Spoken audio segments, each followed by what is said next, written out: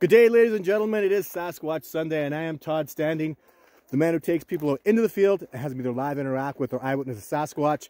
Today, I'm going to talk about a topic that's very exciting. So, the U.S. military has, I have a, a, a story to tell you about an event that allegedly transpired, and I strongly believe it did transpire. Last year, a colonel who uh, was retired and spent uh, his, his whole life uh, working for the U.S. military. He was trained at West Point amazing human being, just passed away last year. He's the gentleman that actually gave me, you'll notice in my documentary, the Bigfoot hand grab scene and a couple other scenes in there were filmed with Generation 4 night vision. It was military. I've had that for 15 years. well, until it got stolen by an expeditioner a couple years ago, someone realized how valuable it was because in public they only have Generation 3. So for many, many, over a decade, I've had the help and assistance of several military officers.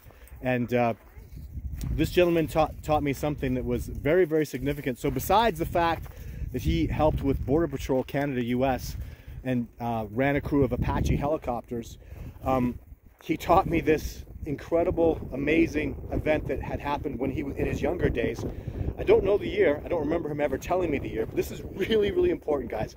This is strategic military advancements and the importance of the discovery of Sasquatch on so many levels. So what he alleged happens was, again, in his younger years, uh, someone found a Sasquatch, a female Sasquatch, who was dying, hypothermic, nearly dead, in a creek. Apparently what had happened was she'd eaten a fish that had a fish hook in it.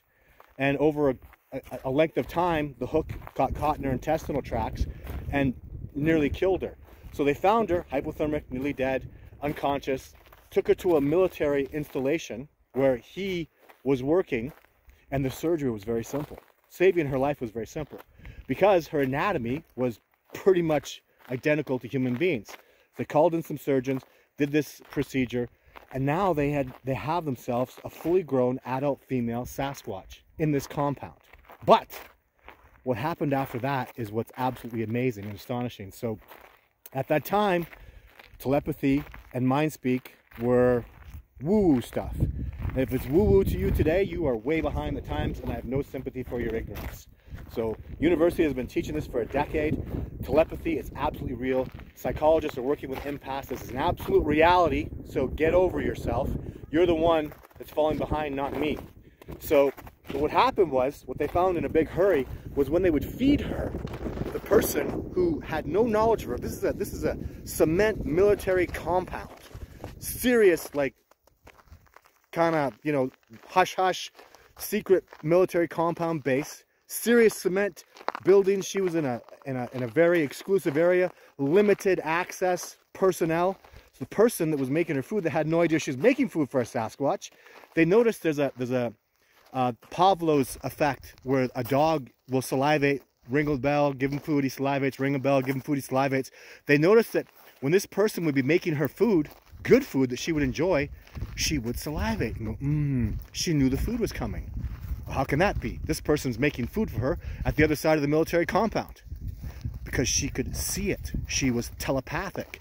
They saw other things that she was doing as well in the building, but nothing more important than that. And they substantiated this incredible uh, ability that she had by giving that person making her that person make really crappy food for her. So he made some nasty thing with maggots and the Sasquatch like, so further experiments were obviously done, but that was in the beginning of his career, uh, soon after he graduated from West Point. So there wasn't much more that he got to learn about it other than with border, uh, they have that knowledge of Sasquatch along the border that I've talked about in other videos. So how do identify a Sasquatch? But since he was trained at West Point, thoroughly educated, a, a career military man. He's told me something that absolutely blew my socks off. And I've, I've never talked about this publicly. So the Sasquatch having this ability is more, it's horrifically advantageous. In fact, he believes that the men with goats experiments and remote viewing and all that stuff was later on developed because of that experience with this particular Sasquatch. There's no doubt this being was immensely telepathic. And this is tremendously advantageous. Remote viewing of things, uh, like if you haven't seen Third Eye Spies, you got to give that show a watch. These are absolute facts. that high-end military in Russia and the United States for sure have been using for decades and decades. They're very advanced with it. So, but anyways, what he told me was in World War II, bats were responsible for radar that was highly advanced technology. And uh, all, most of the military installations discovered this technology at the same times, but it was bats that really facilitated this discovery process and their abilities. He told me that the, any, any major military establishment has the number one priority to keep its people safe and protect them. And he said any military establishment that would discover something like radar, if they had the ability to, they would annihilate the bats, remove them from any other military ability to get that technology because it saves human lives. Screw the animals. So with him saying that, knowing that if the US government, for example, or Russia or Germany or whoever, discovered radar from bats, they would annihilate bats anywhere else to keep that technology for themselves, even wipe out the species entirely to keep that technology safe. And he told me that the ability, just the telepathic ability of Sasquatch alone would have would be something that would they would keep extremely quiet, but it would be so immensely advantageous that they would do everything they could to keep that to themselves, keep it a secret. I mean, it would literally fall into what he called, you know, a major security risk for protecting the people of the United States as an example. So a really amazing man. Uh, I'm, I'm definitely going to miss him uh, now that he passed away in 2023. I don't think I'll, uh, have no need to release his name. Uh, this story and this, all the things, all the advice that he gave me over the years really just resonated with me.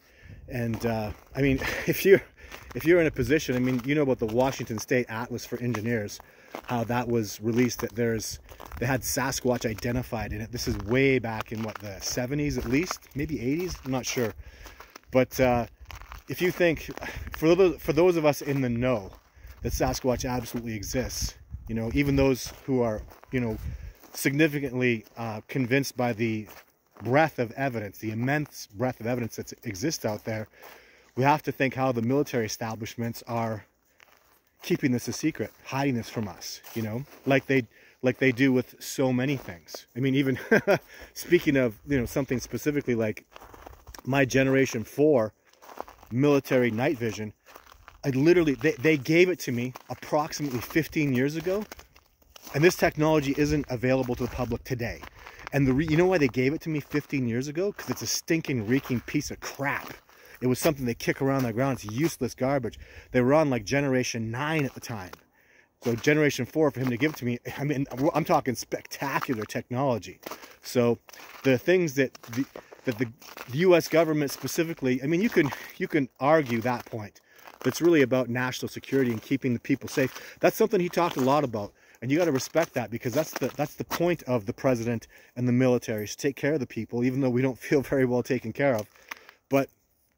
I think now it's it's a matter of not so much because when you talk about they did not annihilate the Yeti, the Yeren, the Yowie in Australia, there's still sightings and they still exist. So knowing that they didn't annihilate the species to keep it quiet, or maybe they couldn't, or maybe even Sasquatch is responsible again for this knowledge, this technology, this these advancements. This is and this is not something I can't even imagine there being a machine ever that can do this. I don't care how advanced AI gets. How could you ever duplicate telepathy and mind speak and remote viewing? These things are absolutely real and proven, guys.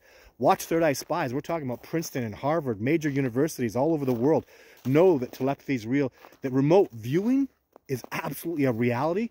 And to think that, that, that those advancements likely came from the discovery of Sasquatch. So, however, today, as I said, I don't believe it's the military that's holding back on this technology at all. I'd be firmly convinced, in fact, that it's about following the money, like Survivor Man taught me. Because if you recognize an indigenous sentient species, which is what we're talking about with Sasquatch, that lives out here in these wildernesses, a people that have rights. Like they didn't they didn't log in California because of the spotted owl, which I respect and appreciate because now we have some old growth forests. What do you do when you find out that out there in the wilderness there's a there's there's there's an indigenous species of sentient hominids. What kind of rights are they going to have? So you follow the money. Trees trees are money. Natural gas is money. Mining of all kinds is money.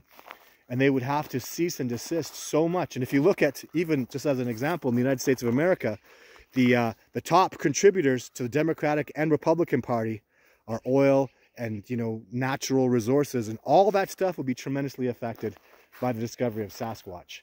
And I even think, from what I've experienced in the area Nordegg, there are people just just as another example that uh, in in the area of Nordegg, where about 400 million dollars annually of all kinds of minerals and natural resources come out of that area.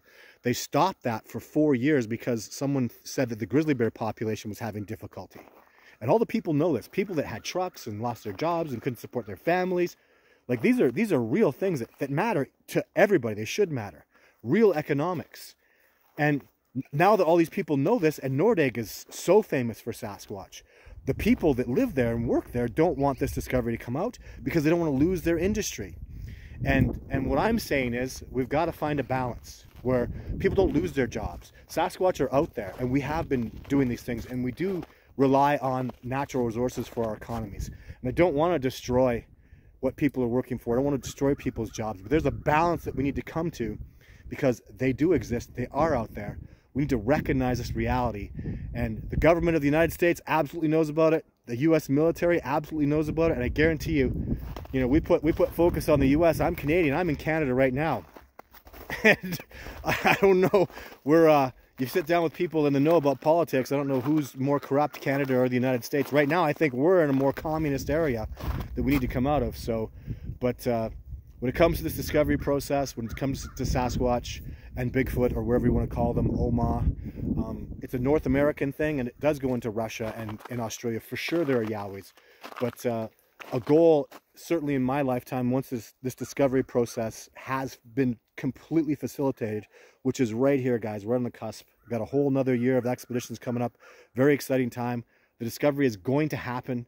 We are right at a cusp and now the question we need to ask ourselves is what's the next level where we go from here so Thank you very much for tuning in my videos. I'm live this Wednesday. I missed my live show last week because I just came back from the beautiful Olympic Peninsula, uh, Neah Bay. Absolutely had a magnificent time there with my expeditioners. We were guided by Makah Elder natives and just embraced by the reserve there, Neah Bay. Wonderful, incredible people. A shout out to all you amazing people in Neah Bay. We had a wonderful, incredible time. Tremendous success. Check the YouTube channel out for that. So, so much more to come, guys. Stay tuned. Lots of content. And uh, we're making this discovery happen. So, thanks so much for tuning in. Bye for now.